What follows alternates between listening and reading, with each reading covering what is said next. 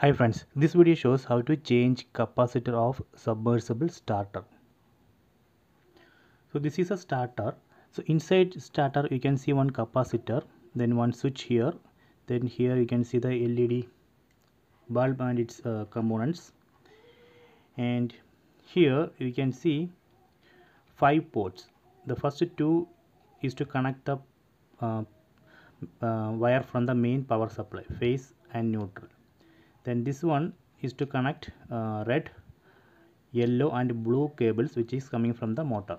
So let me explain the same thing with the circuit diagram. So this is a simple circuit diagram. Here you can see one circle. This is nothing uh, motor. This is a motor. Uh, then inside this motor you can see one run winding and one uh, start winding. You can see from this run winding there is a red cable going outside from the motor. From start winding there is a yellow cable which is going outside from the motor. Then there is one more wire which is going outside. That is the blue. That is the common. That is common to this red and uh, this uh, run and start winding. Okay. So let me show one uh, cable which actually uh, coming from the motor. You can see this is a cable. You can see the same cable here red yellow and blue. Okay. Then here you can see in red and yellow we connected one capacitor in red and yellow. So this is the location where we need to connect the capacitor. And we can see the phase from main power supply is connected to the red wire. Then neutral from the main power supply is connected to the blue wire which is going to the motor. So this is a simple diagram. So let me uh, uh, go to that uh, starter. So here this is the starter. In starter we can see the same thing here. So let me uh, use this cover. In this cover actually they marked here. You can see two main two motor two main. Here we need to connect the uh, cable from the main power supply phase and neutral to motor. So here we need to connect the cable which is coming from the motor red yellow and blue. In circuit diagram we saw that in red and yellow we need to connect capacitor.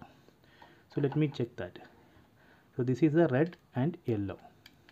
In red and yellow here we can see the cable two black cables that actually coming from the capacitor so if you want to change the capacitor just remove these two screw and remove these two cables.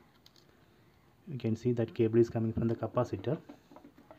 Then we can remove the screws which is holding capacitor. Then we can remove the capacitor like this. See. Now I have removed that capacitor. So when you change the capacitor first check the value of the existing current capacitor can see 36 mft plus or minus 5 percentage 440 avc 50 hertz. So by a similar capacitor then you can connect it like this. When you connect make sure that you connect the capacitor to red and yellow cable which is going to the motor. So that is the only thing you need to check. This is very simple. You can change the capacitor. Okay I will show you one more diagram uh, which is actually there in the cover. The same thing which I explained. You can see red yellow and blue cable which is going to the motor down. In red and yellow uh, there is a capacitor connected see. And this blue you can see it's directly going to the main power supply neutral.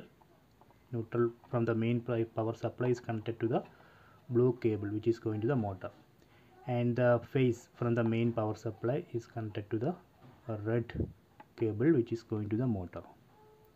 And this is actually for LED light. That is optional.